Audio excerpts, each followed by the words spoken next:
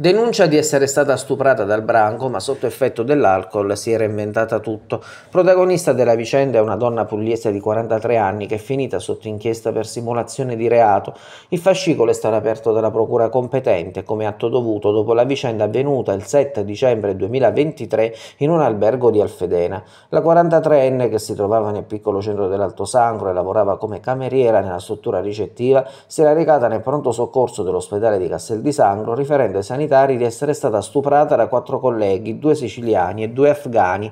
Nello specifico la donna aveva raccontato ai medici di essersi risvegliata a terra, probabilmente narcotizzata e stordita, con i pantaloni sbottonati e di essere stata abusata dai quattro, senza riferire altre circostanze. Una volta in ospedale, però, dopo essersi sottoposta agli accertamenti di routine e alle consulenze sanitarie del caso, aveva rifiutato il ricovero, dove aveva firmato le dimissioni, aveva fatto perdere le sue tracce. Dall'ospedale Sangrino era stato comunque attivato il codice rosso come prevede la legge per i casi di violenza di genere. La Procura della Repubblica di Sulmona aveva quindi aperto un fascicolo contro Ignoti. L'indagine si era poi spostata nel luogo di residenza della 43enne dove la stessa era stata rintracciata dai carabinieri, aveva formalizzato la denuncia. Il colpo di scena era arrivato alcune settimane dopo quando la donna si era presentata in caserma per ritrattare la sua versione.